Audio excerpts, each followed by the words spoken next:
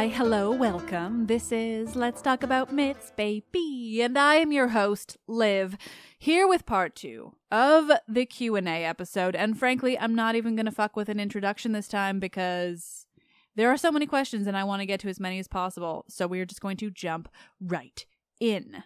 All right, so I had a couple of questions that were from back in August, actually, basically the last time I after I'd closed the last Q and A, um, but they were both kind of about visiting Greece. So I thought, what a good way to start out this episode. Um, so Penelope asked, "What's your dream mythology inspired itinerary for Greece? Any sites in the mainland that you haven't visited but feel are must see?" So Penelope, one great name. Um, I actually have a number of friends who have named their children Penelope. Plus, you know, we got the Odyssey. There's just so much happening there. Well done.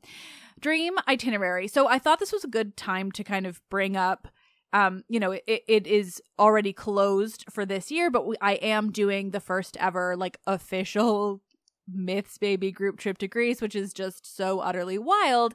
Um, but if it goes smoothly, I hope to do this more often. And we set up a really incredible itinerary that honestly I think serves as a really great, like, if you want to squish in as many ancient sites as possible um, you know, in and around close enough to Athens that it's doable. This is a great itinerary, so I thought I'd share it with you all in case you just want to like do it on your own.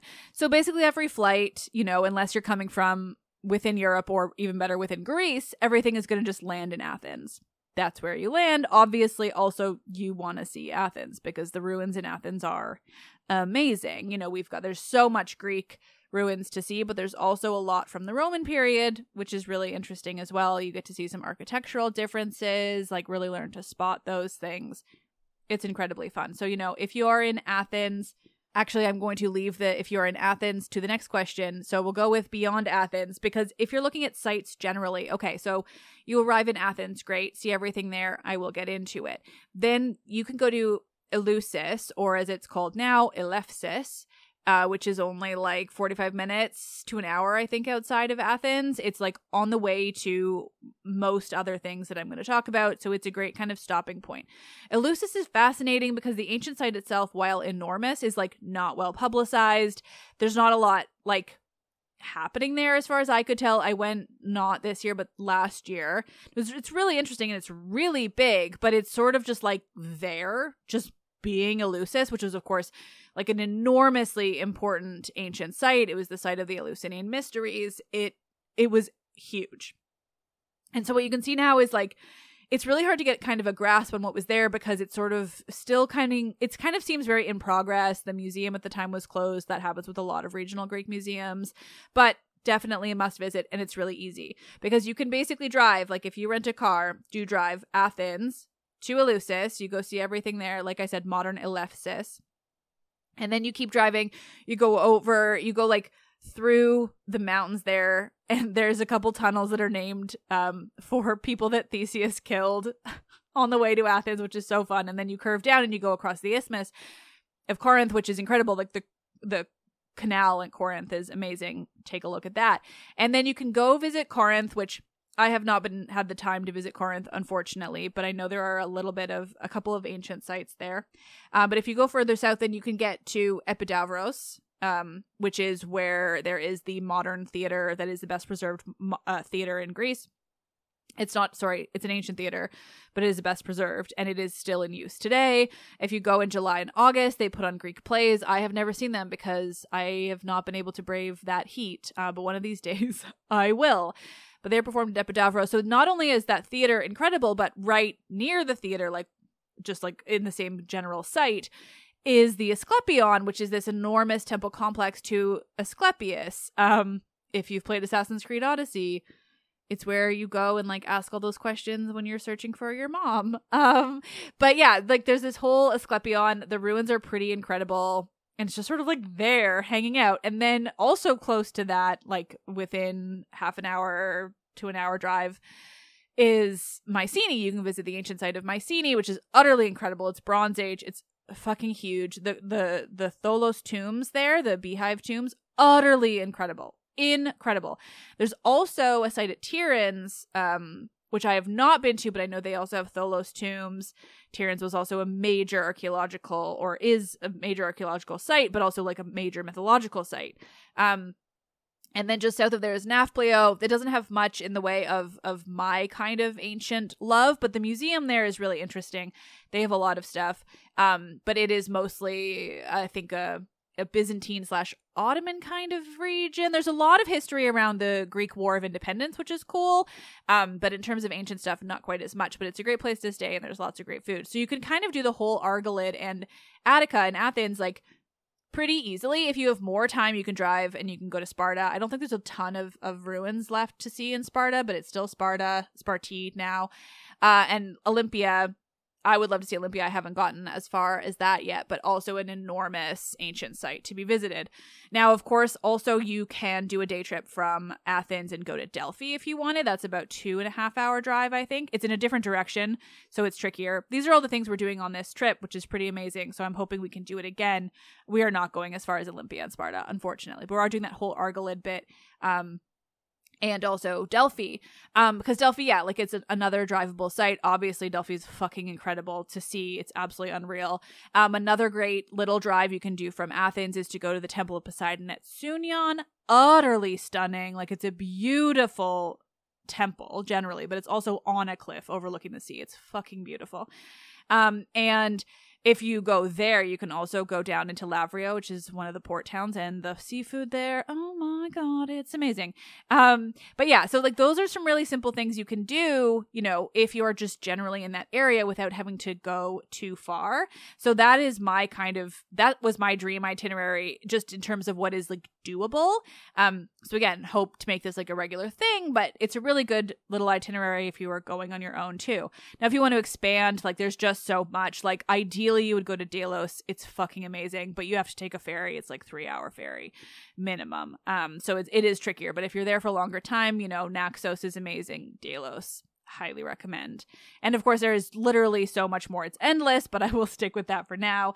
And we'll move on straight to Evan's question, who said, I'm planning a trip for, for a trip to Athens in March, and apart from the usual sites and museums, is there anywhere you'd recommend that we should definitely go? whether that be cafes or unique places.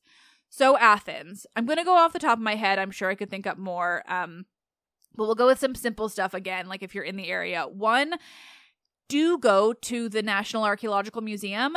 It is like further, if you are just kind of staying around the Acropolis, like that's lovely and beautiful. The Acropolis Museum is absolutely a must see as well. The Archaeological Museum is a little further. It's not far, but it's like not easily walkable, basically but go see it. Go take a whole day for that museum. It is unbelievable the stuff they have in there. It is unreal. It is one of my favorite museums in the world.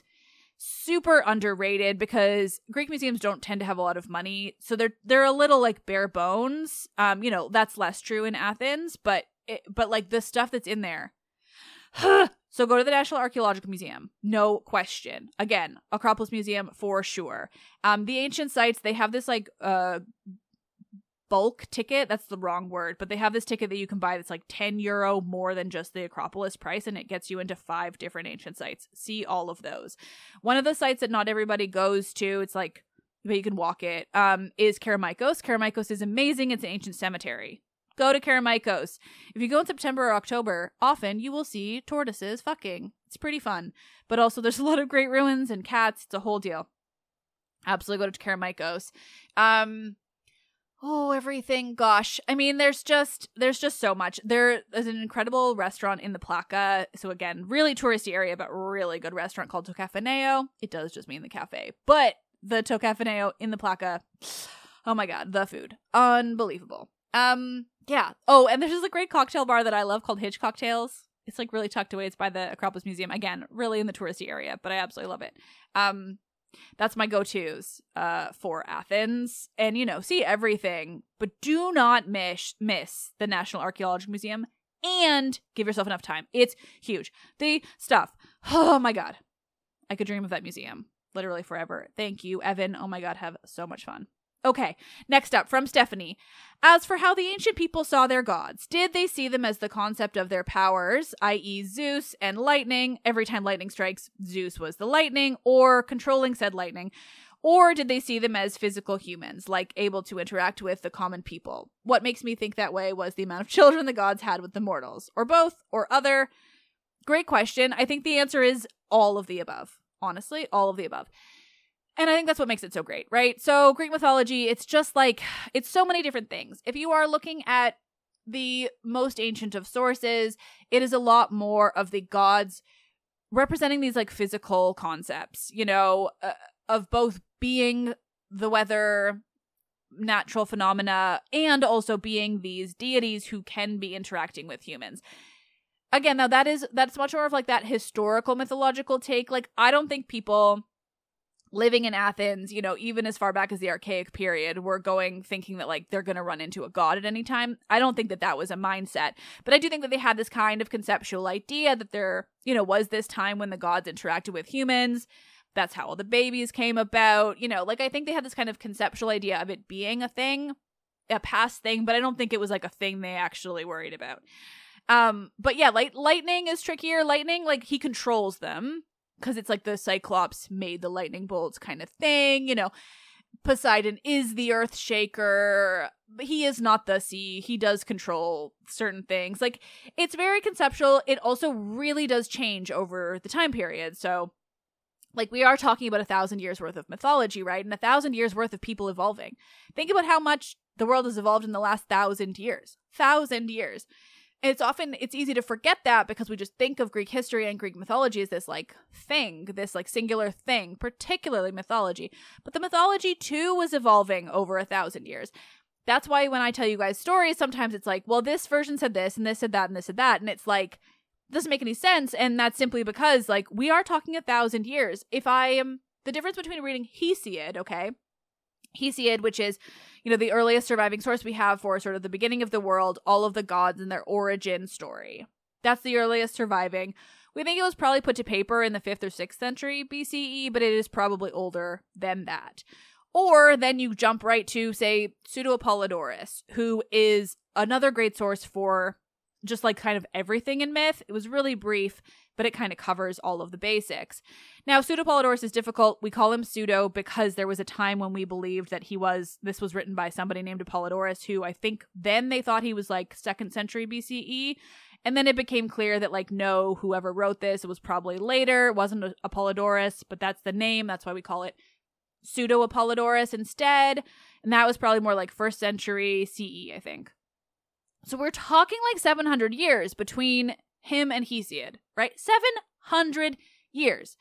So you sort of think about that in terms of any kind of understanding. Like, sure, when Hesiod was around, they probably did have a deeper understanding of the gods as like this like physical construct in the world whereas 700 years later they're probably thinking a bit more spiritually they're thinking a bit more in terms of how we see religion now as as more of like a little bit less like hands on right and so you just kind of have to imagine, you know, how much can change in that amount of time. It's utterly fascinating. So yeah, it's a great question. I also think truly all of your ideas are right in different ways, you know. Okay, Stephanie had a few. We're doing one more from Stephanie, but thank you for all of them. So, as a member of the LGBTQ community, Sappho plays a huge role in how I identify. Love her. Or, as you would say it, I love this shit. I even have a tattoo piece of her. Me too. But are there any other surviving fragments or pieces by ancient Greek women poets who wrote about women that we know of. Okay, there are other Greek women poets. I don't know offhand if any of them wrote about women. Um, I would say, I mean, Sappho is certainly the best surviving. The thing about Sappho is she survives a lot because of random luck.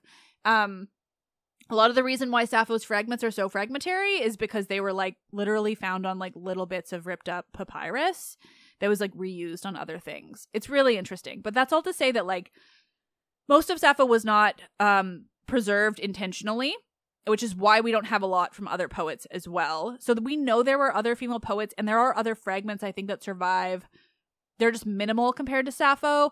I don't remember their names offhand, um, but but there's a book called Sappho's Lyre by Diane Rayor, and it is about Sappho, but it also talks about other women poets um, at the time and sort of what we do have that survives or what we do know about the people that existed. So I highly recommend that if you want to learn more. Um, there are definitely a handful Sappho is still the best example. And again, I don't know if those women wrote about other women. Even Sappho, the problem is like people will love to argue that like oh, when she wrote about women, it's because she wrote the poem for a man to give to a woman. It's like, okay, like give me a break. The like straight washing of that is pretty wild. But what that just means is that like it is hard for us to have like any kind of real grasp on what was happening because it has just been straight washed for so long. Do I believe Sappho was gay? Absolutely. Like I think that, you know, she was I mean, it's tough to say like she did write about men too. I think she was probably bi, you know, but absolutely she did write about women that's all to say that was like a not a super helpful answer but read that book if you want to know more. The subtitle of it is literally archaic love and women poets of ancient greece. I think that's exactly it yeah I, my glasses are on but the book is far enough away that i had to make sure.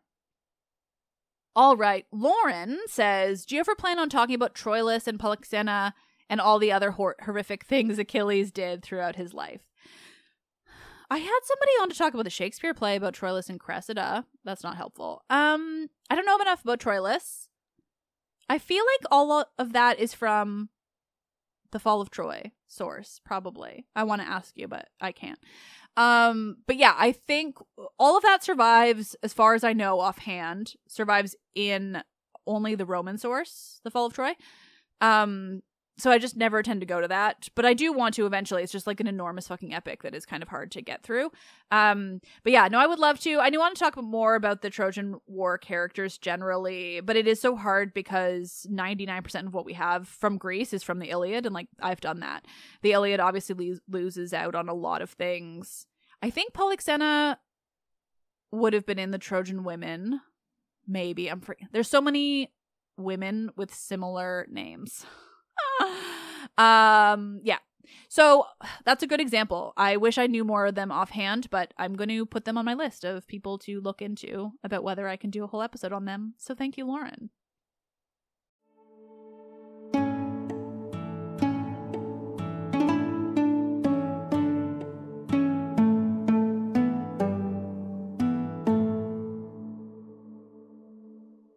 All right, next, one of my Emily's. Um, that's just a running joke. If you get it, you get it. Emily says, Sorry if this seems like rambling, but recently I was thinking about Greek myth and how it is a good, in quotes, thing for a woman to be thin ankled, and how that would be basically the only way her appearance would be described, if at all. Also, I have heard Hera being referred to as cow faced, and I wondered if that would be a good thing or a slight dig at her. I guess what I am trying to ask is there an expert slash source you could point me to that talks about the subject of beauty slash appearance in ancient Greece and their possible nuances? Oh, what a great question. I'm racking my brain. I want to have the answer to this. The neat ankled thing, so sometimes it's translated as thin ankled and sometimes it's translated as neat.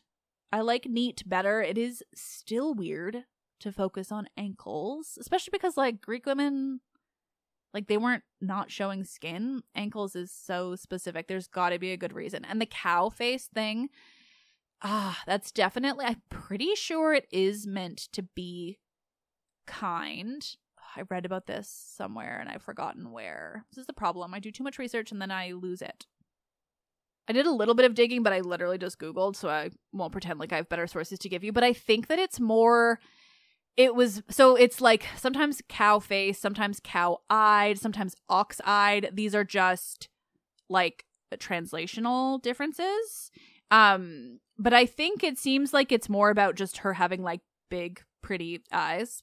Like, you know, because also you have to think like it's we think of cow as a bad insult because of fat phobia and like the grossness of the last, you know, hundred years or so, or like as a millennial, I think of the grossness of just the 90s and the 2000s. But like cows and heifers and ox, like those were really important animals. And like it wasn't an insult. It's just like, oh, you have big eyes, you know? Um, these are just like vitally, vitally important animals. So I think it is like a nice thing, but it just sounds weird to us. Um, as for the wider question, which was so great of like where to look for stuff like this. I don't have an answer, but I desperately want one. Um so I might be I might try to look into this a little further and maybe hopefully mention something on an upcoming episode. because it sounds so interesting and I imagine that there's a great source on this because I think it is probably like a a really full topic with like so much to learn. Um because the epithets were so weird. Like some epithets are wild and they make very little sense. You know, it's contextual. It's like what mattered and what was important back then. But the neat ankled thing has always made me laugh. Like, what? Anyway, I would love to know more. I hope to have an answer in the future. I'm sorry for not having it now, but um yeah, I'm only doing I'm doing literally what I can to survive right now. So thank you for asking it though. My god. Okay. So I have a question from Srishti and Chloe. I hope I pronounced that even remotely right. Um who both collectively said, "Could you please do a small episode on the birth of some minor goddess, god slash goddesses, Hestia, Hecate, children of Nyx, etc." And I'm reading that because it's a. I would love to if there was anything, uh, but it, when it comes to the minor gods, the sources tend to be they were born. Like that's it. So it would be like these are the children of Nyx, and then list names. Hestia is the daughter of X. I'm not even gonna say who because there's all these different options. But it's like that's it. There's no story. Um, and the pro- I would I wish I could talk more easily about kind of everyone. But the thing is, is that if I come into a microphone and I just list people who people were born of, like people are not going to sit through a half an hour of that. And I have to make them half an hour justify giving you guys ads. I really try not to give you ads on anything less. Um, so yeah. I just there isn't, unfortunately. Like there just isn't enough. Um but I did read the Theogony last year or the year before around this time of year, which is a good example of that. Like it's literally just a list of who was born to whom. Yeah, I w- I honestly like I so wish there was more, and that's why I kind of recommended to you guys to ask me about these gods because if there are gods that you'd like to know more about, you know, I'd love to talk about them in this kind of setting when I can. When it comes to the births, though, which is yeah, what you asked about here, like there's just there's nothing. There's literally just who were their parents if we know them. And that's that tends to be about it. I'm always looking for more on Hestia and Hecate. Um, I think when this episode comes out, it'll be right after my episode with Natalie Haynes, uh, where we just basically talked about Hestia, revolving around her newest book, but mostly we just talked about Hestia. And even she was like, "There's nothing," and I'm like, "I know it's awful. I just want to talk about Hestia all the time, but there's nothing." Um, but yeah, so you know, I think, yeah, I'm sorry. This you can tell that I want to tell you more. But there's just not enough. If I ever find a way to to fit in an episode that isn't going to be just a boredom factory and talk about all these gods, I will. I promise.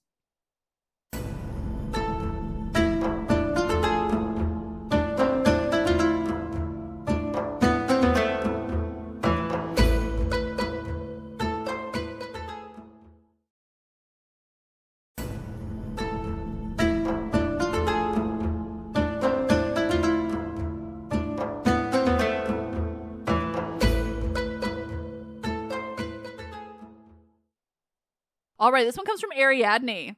Thank you, Ariadne. Hi, I love the podcast and have been obsessed with Greek mythology for a long time. I am also of Greek descent, hence my name. I guessed. But notice that though you have covered extre- covered extremely well uh, some of my favorite ancient Greek heroines, Clytemnestra, Thetis, Electra, Circe, you have yet to do an episode on my namesake, Ariadne. But I have. Um, I've done tons of material on her if you're interested, though I'm sure you have that covered, and would absolutely love to hear her often ignored story. So my question is, could you do an episode slash share what you know about her?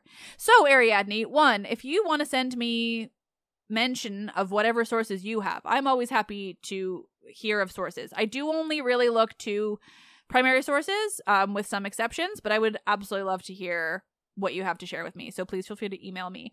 Um, it's mythsbaby at gmail.com. But I have done an episode on Ariadne. The problem with Ariadne's story is that aside from the Dionysiaca, which I have not been able to dive deep enough into yet, um, her story just revolves around, unfortunately, Theseus and Dionysus. She does deserve better, but those are the facts. And so I have done an episode on her.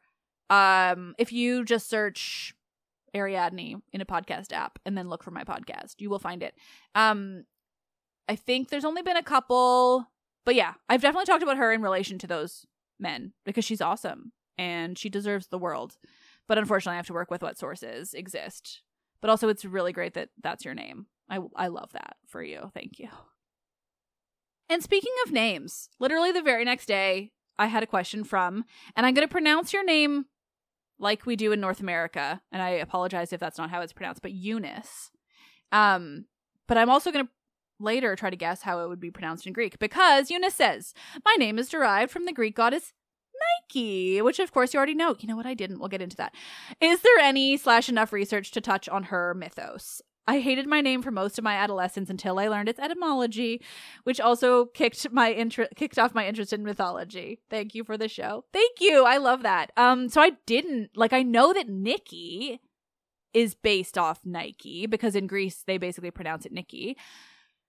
But I love that. And so I googled it um and it looks like it's specifically good victory which is where the the EU at the beginning comes in, which I love. I imagine in modern Greek, if it is still a modern Greek name, it would be pronounced like Evniki, which I love. Evniki, that would be so so pretty.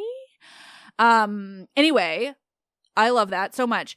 So, Nike, uh, she is tricky.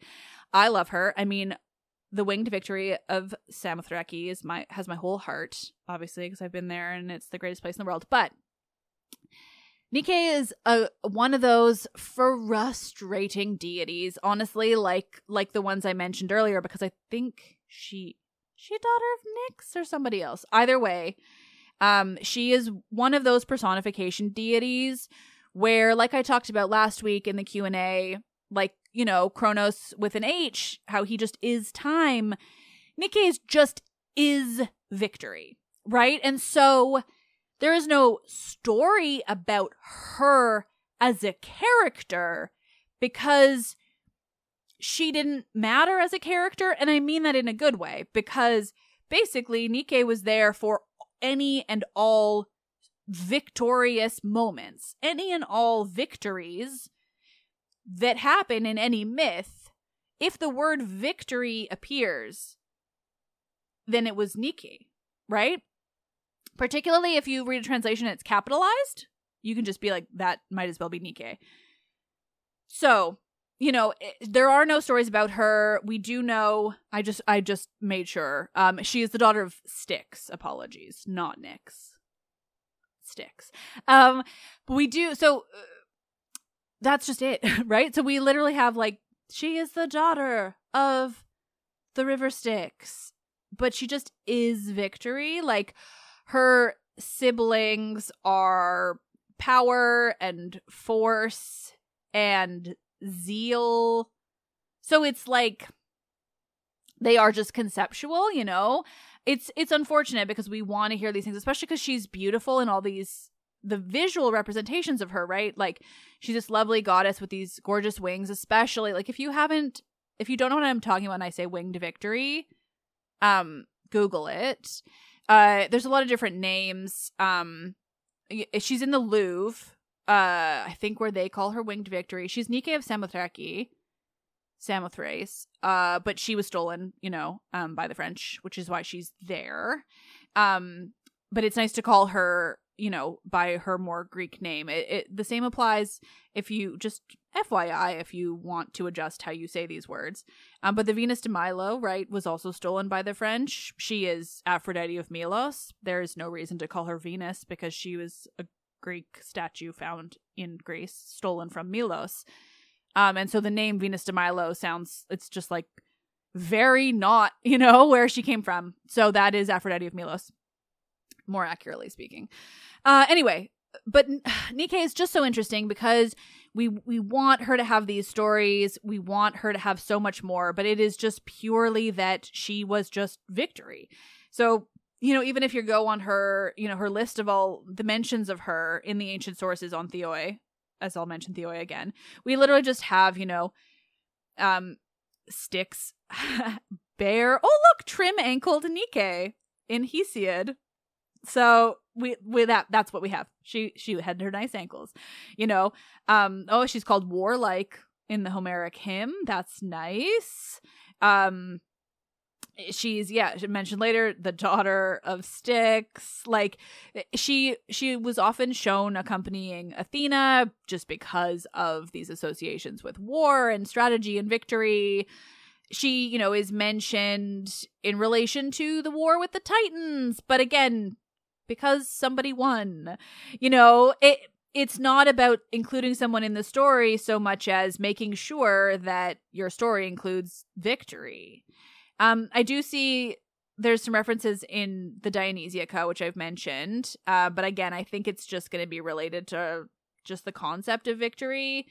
It's unfortunate. I don't, you know, I know I've checked this before because I've been looking for more on Nike forever, forever. I promise I would have told you, but it's just these these conceptual ideas of victory broadly because she just it's not that she wasn't important, it's that she was too important as a concept for them to bother writing her into stories or theorizing on stories because it's like, well, they didn't need to because if she's in every story because she's victory, right?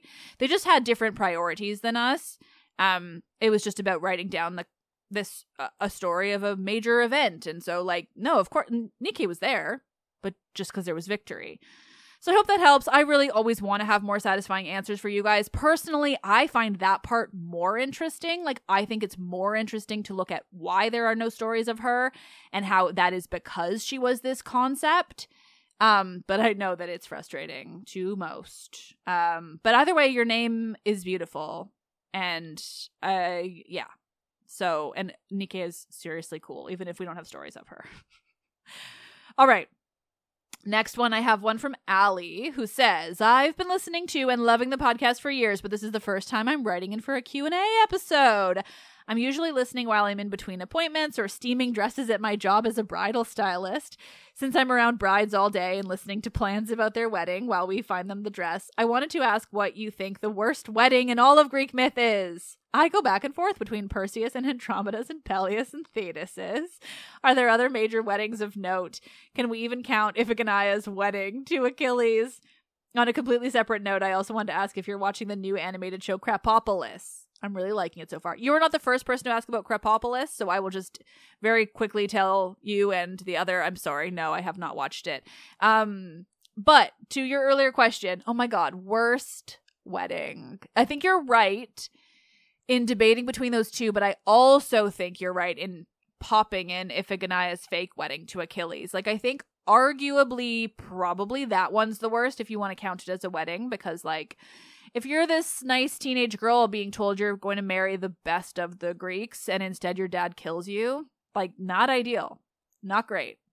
Um, but otherwise, like I would say probably between Perseus and Andromeda and Peleus and Thetis, I think Perseus and Andromeda's has a higher death toll, a much, much higher death. Well, hmm, that's a, it has a much higher direct death toll in that like everyone at the wedding dies mostly. But if you count the Trojan War as a death toll of the wedding of Peleus and Thetis, well, then that one's worse. Really, I think we could go back and forth forever. And I love that you had me do that. But yeah, I don't think we can pick between them. It's just like, what are the levels of bad, you know? Um, there's there's other weddings. Cadmus and Harmonia have a wedding mythologically where shit does not go down. So that's nice for them. Um yeah, I think that's the only like kind of more official wedding. Uh there's some really interesting stuff about um young women preparing for their wedding. Um I t- we talked about it in my episode with Dr. Ellie Mackin Roberts about Persephone because they often looked to that story um in preparation for their own wedding, both by being excited and also from the other side of oh my god, I'm being forced to marry this man and I think that that that story really connected with a lot of people so that was really interesting conversation i had if you wanted to listen to it but i definitely think you're right in terms of your theorizing on the worst weddings for sure Okay, we're going to try to power through a bunch more because you guys have so many good questions and also time is a thing. Okay, Vicky wrote in and they say, Hey, Liv, big fan here. My question is what myth can people read if they like the weirdest stuff ever, including me, TBH? I'm with you, Vicky. Okay, Homeric hymn to Hermes chef's fucking kiss. It's literally perfect. Oh, what else? I mean, the Alcestis play is weird as shit, um, but it is a play. The myth is a little bit more mysterious and missing. I mean, it's so hard. Like everything is so weird in its own kind of way. You know, like honestly, just reading any of the original sources, like you're gonna get some weird shit. Pick up some pseudo Apollodorus, even Hesiod, maybe. Homeric hymns broadly are pretty fun. Some are weird. Uh, I mean, they were all weird, you know? Like, the story of Pasiphae and the bull is what really reminded me how weird and interesting the Greeks were and like why I was like, I think I'm going to talk about them into a microphone, you know, and then here we are. Oh, they were all just so weird. I wish, yeah, I wish I had more detailed answers. Homeric Hymn to Hermes is my good go to. It's a quick read, it's deeply wild, it's just so silly. All right, Connor has an interesting question. I don't have an answer, but Connor, I'm going to read it in case other people do. Okay, Connor says, as a big fan of the Six musical, I cannot help but notice the similarities between Medea and Catherine of Aragon. Both are foreign princesses married to a king to bear his children, but are cast out for a local wife. Catherine does end up in a nunnery, and she isn't happy about it, though she does not kill her daughter on a dragon chariot. Has anyone else written about the similarities between these two, fiction or nonfiction? I don't know. I don't know of anything about Catherine of Aragon, really, but that's really interesting. So, I mean, if anyone has any recommendations for that, feel free to write in and I will read it on an upcoming episode because that's interesting. All right, one from Paris, and they said, Love the podcast. I was listening to another podcast which doesn't have a mytholo- mythology focus, and so the hosts are not well versed. However, on a tangent, they called the myth of Asterion a parable for stepchildren. I can't recall if you made the same connection, but it seemed misguided to me to refer to the myth as such. What are your thoughts? Is Asterion a, warm, a warning about stepchildren, or is that too reductionist? Keep up the amazing work. I love listening. Thank you, Paris. Um, I think that is also reductionist.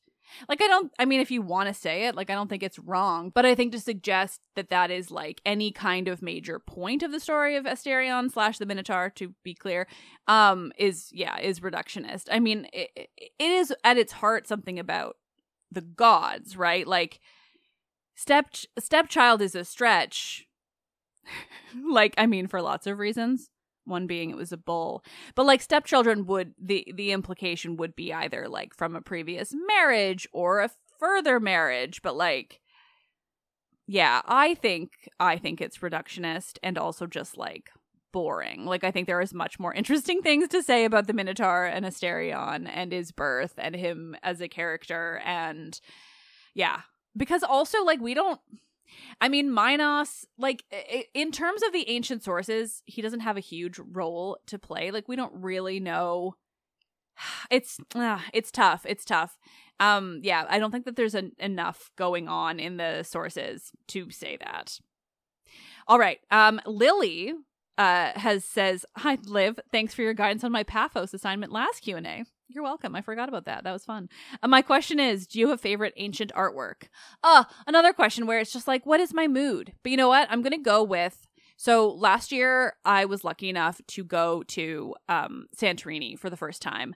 I normally wouldn't have wanted to go. It's so expensive compared to the rest of Greece, but my mom like desperately wanted to go, so we made it a thing. And I mean, thankfully, like I'm very glad I did because the thing about Santorini, if you ignore all of the tourism, like it is gorgeous for one because it's a fucking volcano, but like it's so flippin' expensive compared to the rest of the country. Um, but the incredible thing about Santorini that no one really talks about because it's too busy being Santorini is that, you know, it was a volcano, which means that it does have a preserved city, like in the vein of Pompeii, only 2,000 years older. Okay, more like 1600, but like 1600 years older than Pompeii, right?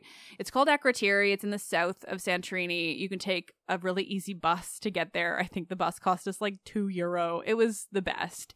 Um, and Akrotiri is a fully, well, you know, preserved in whatever way possible town from the Bronze Age. Um, was preserved by the volcanic eruption of Thera, and it is wild. It is incredible. Like you see an ancient town, like, but and by ancient in this case, like I mean the Bronze Age. So I mean I mean, 1600 years before Pompeii, but like a thousand years before, more than a thousand years before the playwrights, before Plato. Like, it's so old. And this leads me to the actual answer to your question, sorry, which is that in Thera, in the town of Thera on Santorini, it's far from Akrotiri, but it's a small island. is the Archaeological Museum of Thera. And holy shit. Because I have been to the National Archaeological Museum in Athens. As I told you all, you have to go. It's the fucking best. Do not go to Athens and not see it. And there they have some wall paintings from Akrotiri, from this preserved Bronze Age town.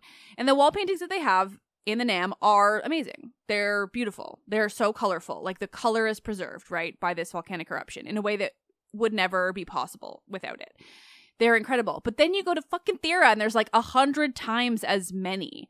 So the wall paintings preserved from Akrotiri, like all of them, but like, oh, I can't even, I honestly, I can't even name like a specific favorite because it's just all of them. They're unreal. Or if you want that more famous thing, I'm obsessed with Winged Victory, the ones I've talked about earlier. It's in the Louvre uh, because it's from Samothrace and also it's this Hellenistic joy. It's fucking incredible. Um, so yeah, those would be my favorites, but also honestly, like I could list a thousand more. All right, this next one's from Emma, who says, Would you ever write another book? And would you do an episode on the meanings of Greek names? All right, Emma. One, yes. Uh, so I want to publish lots more books, but I'm currently working on a, a new novel we set aside Cadmus and Harmonia for a little while because I couldn't get to it. But I've written something else and we're working on it. We're working on making that happen. It is something. Um the meaning of Greek names. I would I love that. Maybe I'll like focus a Q&A on it somehow sometime because the thing about that it's a lot like what I was talking about I think earlier but it was maybe last week I've recording them both at once. Um when I was talking about how difficult it is to just like list names you know, as one person. Like if I can turn it into a discussion with somebody that's so different, um but in terms of me doing an episode like it would just get boring so quickly unfortunately you know like it just would so maybe i'll just kind of prompt people next q&a to like if so even just now if you guys have any questions about specific greek names and the meanings um, feel free to put them into this the same q&a form mythsbaby.com slash questions and i can get to it in the next q&a in the summer um, because I would love to. It's just that I need prompting and I need it can't be just a list. So if you tell me any names you're interested in, I will do the research and figure it out. Um, because it's a great idea. It's just one of those things that like logistically just like doesn't work very well in the type of podcast that I have to give you. All right, this next one is from Julia, and it gives me joy. She's got three questions. One, maybe this is dumb, but given the Greeks' obsession with dicks, why do all those ancient sculptures have such tiny genitalia? Great question. I don't know the answer. Um, like, you know, you know, I don't, I don't, because like a lot of the sculptures do. I'm trying to think of time period and like whether maybe those are coming later. A lot of the things we're imagining, because like if you're curious about the opposite of that, you go ahead and you type the Roman god Priapus into the Google. You go, you go type Priapus. P R I A P U S. You're welcome.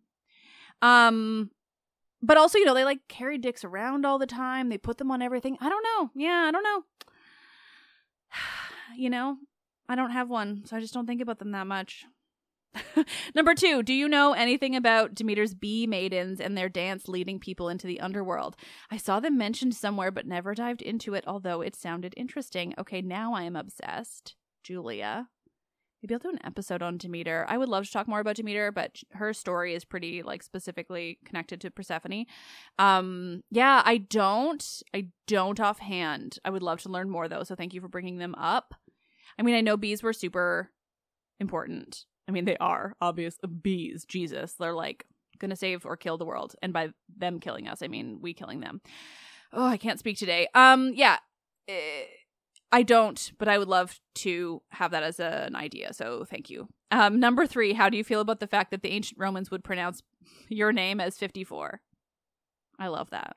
I think it's funny. Sometimes, oh, a good uh moment of having my name be Liv is that if somebody texts it to me all in caps, like if they're just being they're yelling my name at me or like being expositional. Um, and if I ask my phone, if I ask Siri to read it to me, she just says 54. She doesn't say my name. She she just says 54. So the assumption is if it's in all caps, it's actually Roman numeral and not my name. And I find a lot of joy in that. And I had one um from Blandine. I hope I pronounced that right. I'm sorry. Technically I'm French. I'm shitty at it though. Um and I'm not going to read it. Um but it, it, I just want to say it was about my Iphigenia among the Taurians episodes.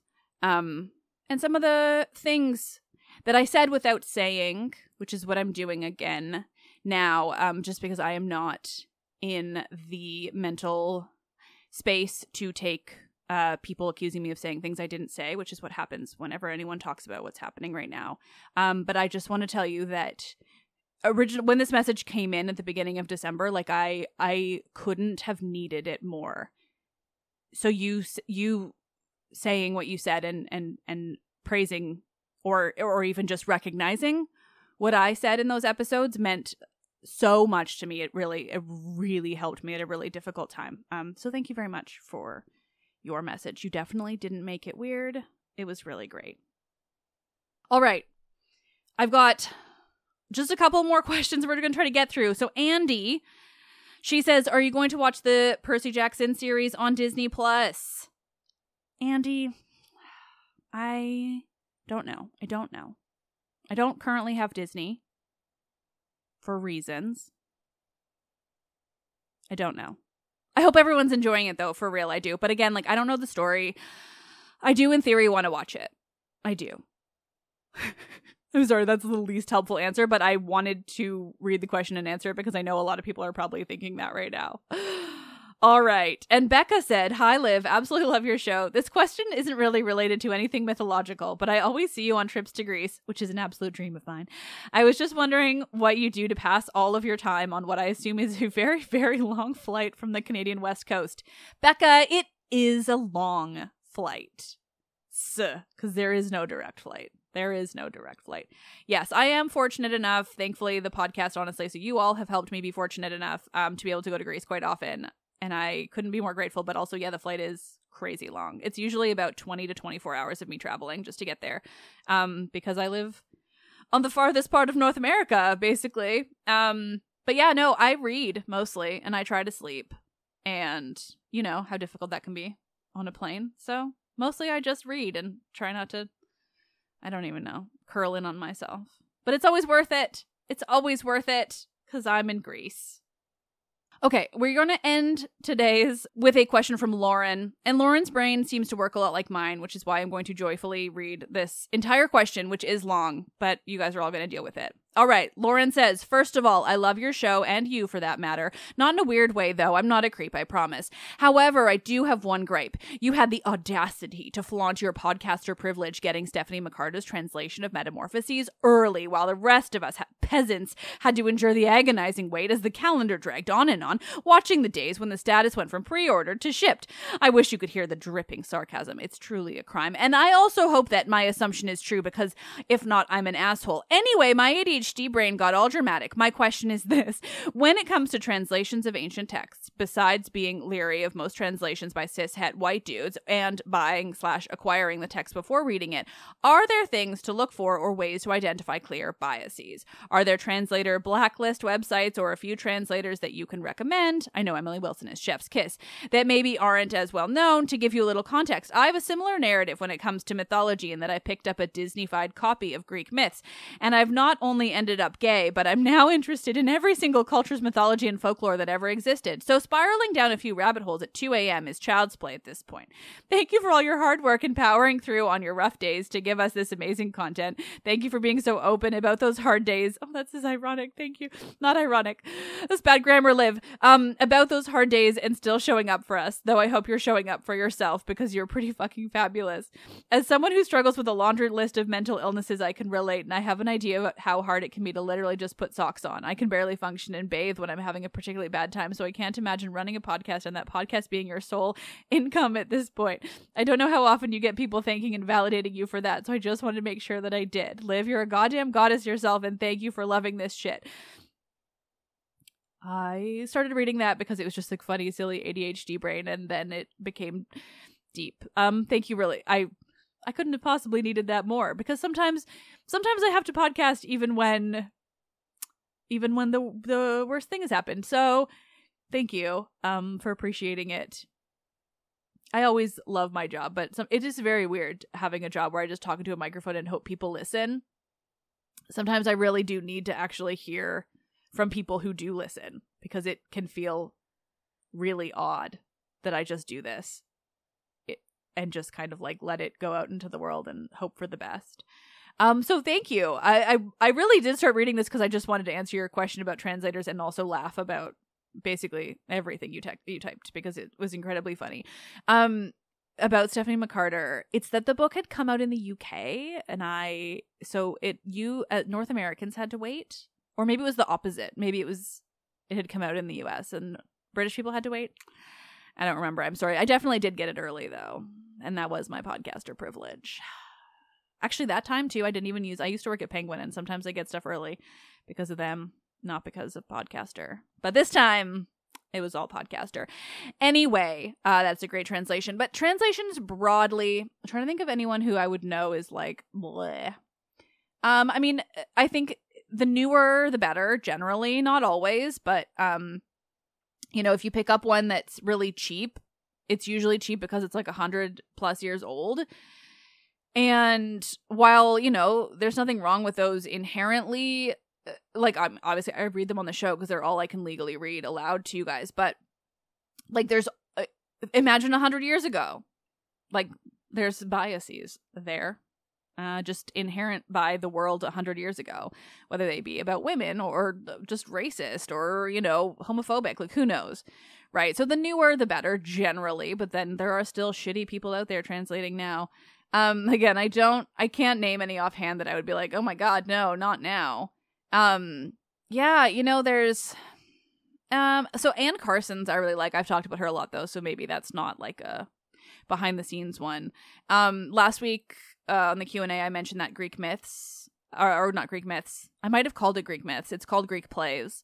Um, it's a it's a modern library edition of like all three tragedians, like three or four plays each, and it's uh translations from the last like 10 years or so and they're all pretty good um i mean yeah it's it's really difficult there's not like any clear biases that aren't you know like really obvious shit. Like if you open the book and the word slut is there like that's probably not from the ancient greek you know? Probably was just woman. Um yeah i mean i i, tr- I try to just kind of I try to refer to more than one if I can. Sometimes I can't. And, you know, if I know the translator is pretty good. It's, translation is subjective. You know, like this came up a lot when the new Iliad came out and all the dudes were so angry, like saying that she changed it. And it's like, she literally didn't change it. She just made choices because you have to make choices as a translator. It's literally impossible to translate li- literally because if you are reading a literal translation it's not going to make any fucking sense because words change and English has, you know, different words for something than Greek would or or multiple words that can mean the same thing in Greek or vice versa like you know a translation is always going to have bias. I, Stephanie McCarter talked about this on my episode with her, and it was really interesting because it really is always going to have bias because everyone is human and you are going to put your human nature into the translation. It is unavoidable. The question is what those translators are thinking and intending with that translation. So, you know, when Stephanie talked about this, she talked about how she was making a conscious effort to equal the playing field between men and women, to look at what other translations have done, to look at the original Latin and make a call, you know, based on whatever the the least you know the the sort of the I guess the least bias, but again, she she did admit you know working within her own bias. Um, it's just it's really interesting looking at translation and you know what has to be done in order for something to not only make sense when translated into a modern language when it was written you know 2000 plus years ago but just like you know what comes out of that and what people can read from it you know it's it's utterly fascinating. Like I've read, you know, a bunch of stories from Ovid in like three or four or five even different translations, and they're all interesting in their own ways. And, you know, even the old ones that are certainly full of biases, they're still good. Um, because you're still reading the ancient text in some form. You just have to kind of keep in mind that there might be you know more glaring biases that that you're not aware of you know? Just keep it in mind. If you read something and you're like well that seems odd you know? Like maybe pick up a different translation and try to find the same passage and how they read it. I just find that really interesting you know looking at multiple translations and things like that. Um actually now the more i ramble the more i realize. So there is also like there's a website called poetry in translation which provides a lot of free translations um to to ancient works. Um, I'm not super familiar with the translators involved, or all of them at least. Um, but I, it's still like it's a good free resource um, that you can go on and read. And they are recent translations. So while there still might be some biases in there, you're not dealing with like a hundred years worth of social innovation being lost, you know, by reading a really old one. Um, so you know, if you, you if you're looking for a translation, you don't want to spend money or you can't spend money, check out Poetry in Translation if they have what you're looking for, or Theoi.com, or you know, it, it's always going there's always going to be something. It is inevitable even if you're reading it you know something translated by a like literally anyone um is going to have some kind of biasy involved. It just sort of depends on what type you want. That's why i look for those written by women or translated by women rather um because I'd rather have that. Like I'll I'll be blunt about it. If I'm going to have to read something with a bias, I want to read it by a woman. Like sorry. I don't like I'm not going to pretend you know that anyone can can interpret this stuff without a bias. Obviously I have one too. I just happen to think that it's a pretty good one, you know, just equality weird. Um yeah, so you know, but I do think it's a great question and yeah, I hope I hope that was helpful.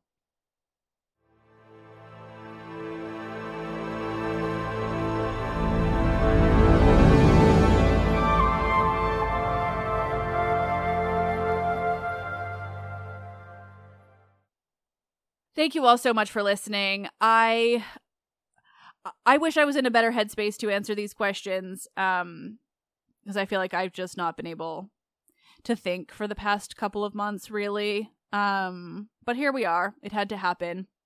Um yeah.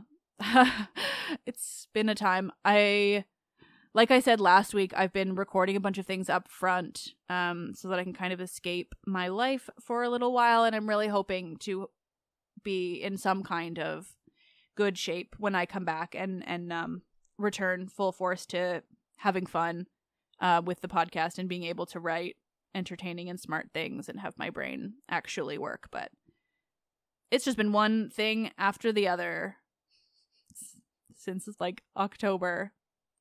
And I just need to breathe. Um but anyway I hope you all enjoy this anyway. I hope that the, you found the answers helpful. I hope you enjoyed listening to your question be heard. If I didn't get to your question, I'm really sorry. There were really so many. I always think I'm not getting enough, and then I'm like, oh shit, no, there's too many, even for two hour long episodes. Jesus. Um, but I really, I'm so grateful for all of you. Um, I really, really so grateful for everyone who listens to this podcast, for everyone who writes in, for everyone who follows me and comments and emails and literally anything. Like I, it, they all mean the world to me. Um, even if I can't answer or read your que- question, like I read it to myself, even if I don't read it aloud, you know, and it all means the whole world to me.